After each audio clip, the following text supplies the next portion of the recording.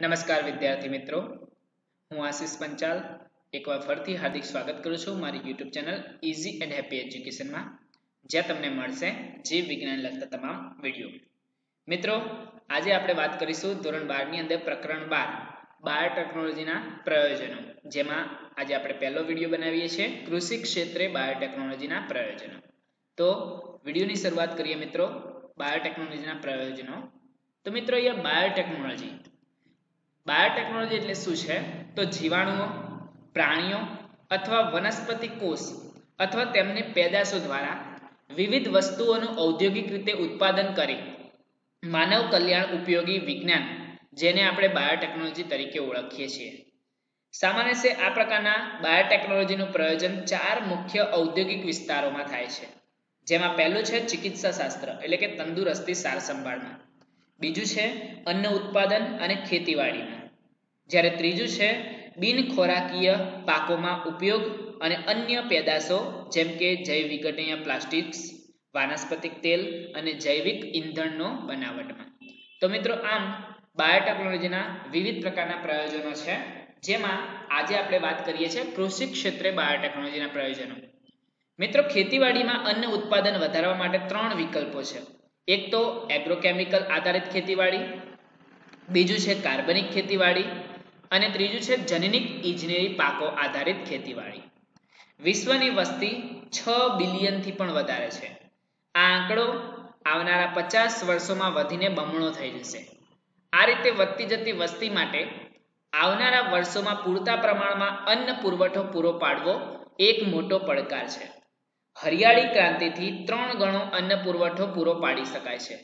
પરંતુ તે વધતી જતી માનવ વસ્તી માટે અપૂરતો છે. વધતું ઉત્પાદન માત્ર સુધારેલી પાકની જાતિઓના ઉત્પાદન વડે જ નહીં, પરંતુ એગ્રોકેમિકલ જેવા કે ખાતરો, જંતુનાશકોને લીધે પણ છે. આમ છતાં, વિકસતા દેશોમાં એગ્રોકેમિકલ્સનો ઉપયોગ ખેડૂતો માટે ખૂબ જ ખર્ચાળ માનવામાં આવે છે. કેટલીક વાર એગ્રોકેમિકલ ભૂમિની ફળદ્રુપતા ઘટાડે છે અને પ્રદૂષણને પણ પ્રેરે છે. આથી પ્રશ્ન એ ઊભો થાય છે કે કેવી રીતે ઓછા પ્રમાણમાં એગ્રોકેમિકલ્સનો ઉપયોગ કરી શકાય અને વધુ પ્રમાણમાં ઉત્પાદન મેળવી શકાય. તેનો જનનિક પરિવર્તિત પાકોનો ઉપયોગ, જનીન પરિવર્તિત સજીવો એટલે કે જીએમઓ જીનેટિકલી મોડિફાઈડ ઓર્ગેનિઝમ એવા સજીવો છે કે જેમાં જનીન ઇજનેરી વિદ્યાની પદ્ધતિની ઉપયોગ કરીને તેના જનીનિક દ્રવ્યની ફેરબદલી કરેલી હોય છે, જેમ કે જનીનિક પરિવર્તિત વનસ્પતિઓમાં તો આનો એકમાત્ર વિકલ્પ એક જીએમઓ તરીકે પણ ઓળખી શકાય છે, જનીનિક પરિવર્તિત સજીવો તરીકે પણ ઓળખી શકાય છે. મિત્રો, જનનિક પરિવર્તિત વનસ્પતિઓની અંદર આપણે વાત કરીએ છીએ, તો તેમાં જોવા મળતા લક્ષણોની વાત કરવી પડે. તો વનસ્પતિ, જીવાણુઓ, ફૂગ અને પ્રાણીઓ જેમનું જનીન રૂપાંતરણથી બદલાયું હોય તેને જનીન પરિવર્તિત સજીવો તરીકે ઓળખવામાં આવે છે. જો આ જ પ્રકારની પદ્ધતિ વનસ્પતિઓમાં થાય તો તેને જનીન પરિવર્તિત વનસ્પતિઓ તરીકે ઓળખવામાં આવે છે. અજૈવિક તણાવ, એટલે કે ઠંડી, દુકાળ, ખારાશ, ગરમી બધા સામે વધુ ક્ષમતા ધરાવતા પાક બનાવવા, રાસાયણિક જંતુનાશકોનો ઉપયોગ ઘટાડવો, ભૂમિમાંથી વનસ્પતિ દ્વારા વધુને વધુ પોષક તત્વોનું શોષણ કરવાની ક્ષમતામાં વધારો થવો અને ખોરાકનું પોષણકીય મૂલ્ય વધારે છે. દાખલા તરીકે વિટામિન એનું ઊંચું પ્રમાણ ધરાવતા ચોખ્ખો આમ, વધારાના ઉપયોગ તરીકે જીએમ દ્વારા એવા ટેલર મેડ વનસ્પતિઓ બનાવી જે ઉદ્યોગોને સ્ટાર્ચ ઈંધણ અને ફાર્માનો સ્ત્રોત પૂરી પાડી શકે છે. મિત્રો, જનીન પરિવર્તિત વનસ્પતિઓના લક્ષણોની અંદર મુખ્યત્વે પાંચ પ્રકારના લક્ષણોને ધ્યાનમાં લેવામાં આવે છે. જેમાંનો પહેલો છે જીવાતોનો પ્રતિકાર. એટલે કે જીવાતોનો પ્રતિકાર કરી શકે તેવી વનસ્પતિઓને ઉગાડવાથી રાસાયણિક જંતુનાશકોનો ઉપયોગ દૂર કરી શકાય અને પાકોમાં બજારમાં કિંમત ઘટાડી શકાય. બીજું છે નિંદણનાશકોની સહિષ્ણુતા. જનીન ઇજનેરી વિદ્યાની મદદથી તૈયાર કરેલ કૃષિ વિષયક વનસ્પતિઓ, કૃષિ વિષયક વનસ્પતિઓ, જે ખૂબ જ શક્તિશાળી નિંદણનાશક સામે પ્રતિકાર દર્શાવે છે. જે નિંદણનાશકની ઘટતી માત્રામાં જરૂરિયાત દ્વારા પર્યાવરણને નુકસાન થતું અટકાવવામાં પણ મદદ કરે છે. ત્રીજું છે મિત્રો, રોગ પ્રતિકારકો. ઘણા વાયરસ, ફૂગ અને જીવ, સૂક્ષ્મ જીવાણુઓ જે છે, જે વનસ્પતિઓમાં રોગો પ્રેરે છે. જનીન પરિવર્તિત વનસ્પતિઓ આ રોગોનો પ્રતિકાર કરે છે. ચોથું છે સહિષ્ણુતા, એટલે કે શીત, અછત, ક્ષાર અને ગરમી સામે તેને સહન કરવાની શક્તિમાં વધારો થવો, તેની ક્ષમતામાં વધારો થવો. પાંચમું છે પોષણકીય મૂલ્ય. એટલે કે ખોરાકમાં પોષણકીય મૂલ્ય વધારે હોવું. દાખલા તરીકે વિટામિન એનું વધુ પ્રમાણ ધરાવતા ચોખા. તો આમ આવા પાંચ પ્રકારના લક્ષણો જનીન પરિવર્તિત વનસ્પતિઓની અંદર હોવા જોઈએ. જનીન પરિવર્તિત વનસ્પતિઓમાંથી એ જ રીતે પ્રાણીઓ પણ હોઈ શકે છે. તો જનીન પરિવર્તિત સજીવો જીએમઓ જેને આપણે જીનેટિકલી મોડિફાઈડ ઓર્ગેનિઝમ તરીકે ઓળખીએ છીએ. તો જનીન પરિવર્તિત સજીવ એ એવા સજીવ છે કે જેમાં જનીન ઇજનેરી વિદ્યાની પદ્ધતિનો ઉપયોગ કરીને તેના જનીન દ્રવ્યની ફેરબદલી કરી શકે છે, કરી હોય છે, કરેલી હોય છે.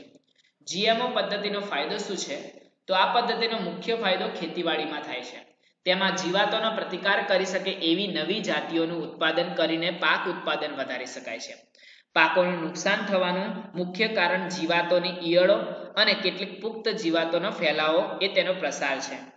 પાકોને નુકસાન કરતી જીવાતોમાં મુખ્યત્વે લેપ્ટિડ, લેપિડપ્ટેરા એટલે કે બોલવોમ્સ કોલિયોપ્ટેરા એટલે કે કીટકો, ઓથોપ્ટેરા એટલે કે તિતિગોડો અને હોમોપ્ટેરા એટલે કે આફ્રિડ્સ પ્રકારના હોય છે.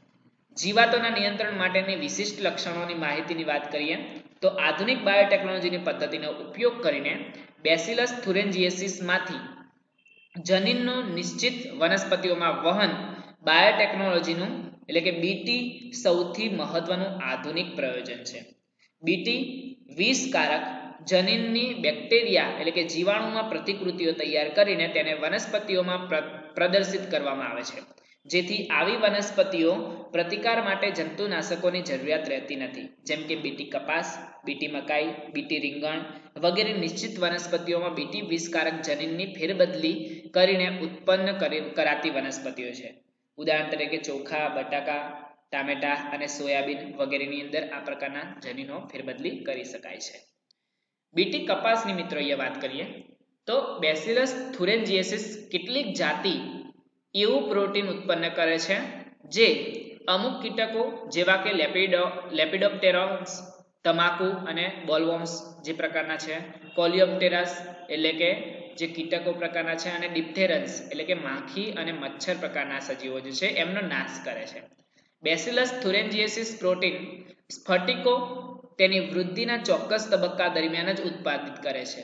આ સ્ફટિકો ઝેરી કીટનાશક પ્રોટીન ધરાવે છે આ જીવાણુકીય જનીન ઝેરી કીટનાશક ક્રિસ્ટલ પ્રોટીનનું ઉત્પાદન કરે છે, જે ઈયળો એટલે કે બોલવોમ્સનો નાશ કરે છે. બેસિલસ થુરેન્જીએસિસ જે ઝેરી પ્રોટીન ઉત્પન્ન કરે છે, તે નિષ્ક્રિય સ્વરૂપે હોય છે. પરંતુ જ્યારે તે કીટકોના શરીરમાં દાખલ થાય છે, ત્યારે આલ્કલીય પીએચના કારણે તે સક્રિય સ્વરૂપમાં ફેરવાય છે, જે ક્રિસ્ટલ પ્રોટીનને દ્રાવ્ય સ્વરૂપમાં અન્ન માર્ગમાં ફેરવે છે.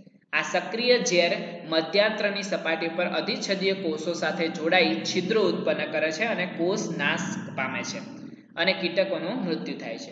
આ ક્રાય પ્રોટીનનું અલગીકરણ બેસિલસ થુરેન્જીએસિસમાંથી મેળવી તેને કપાસમાં દાખલ કરવામાં આવે છે.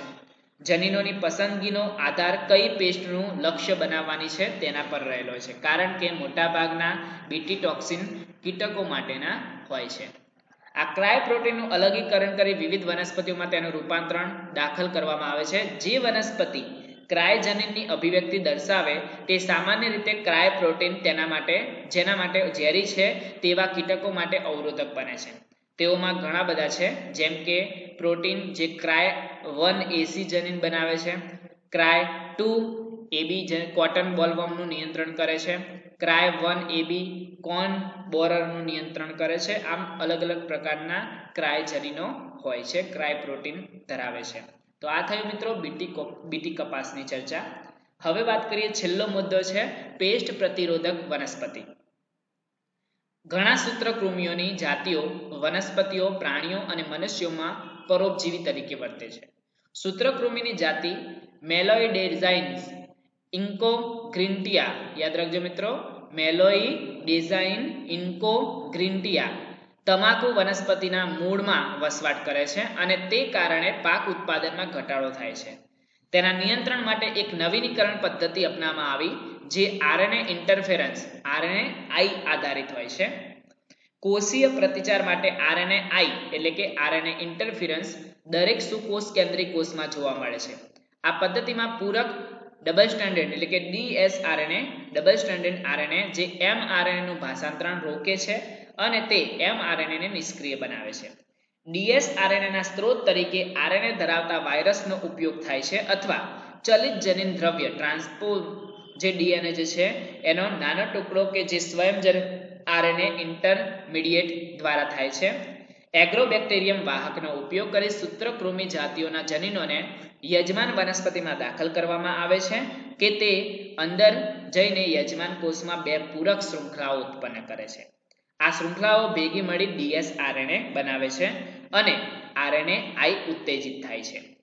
તેથી સૂત્રકૃમિઓના એમઆરએનનું ભાષાંતરણ થતું નથી અને તે નિષ્ક્રિય રહે છે. યજમાનમાં આ પદ્ધતિના ઉપયોગ દ્વારા રિઝલ્ટ એ મળ્યું કે પાંચ દિવસ પછી યજમાનના મૂળમાં સૂત્રકૃમિનો ચેપ નાશ થયેલો જોવા મળે છે. તો આ થયું મિત્રો પ્રેસ્ટ પ્રતિરોધક વનસ્પતિઓ. આશા રાખું છું કે કૃષિ ક્ષેત્રે બાયોટેકનોલોજીના પ્રયાસો વિશે તમને સંપૂર્ણ માહિતી મળી ગઈ હશે. જો વીડિયો તમને પસંદ આવ્યો તો વિડીયોને લાઇક કરજો. અન્ય મિત્રો સાથે શેર કરજો. સાથે જ મારી ચેનલ ઇઝી એન્ડ હેપી એજ્યુકેશનને સબસ્ક્રાઇબ કરજો અને બાજુમાં રહેલું બેલ આઇકન પણ દબાવી દેજો જેથી આવનારા બધા જ વીડિયો નોટિફિકેશન તમને મળતી રહે. Thank you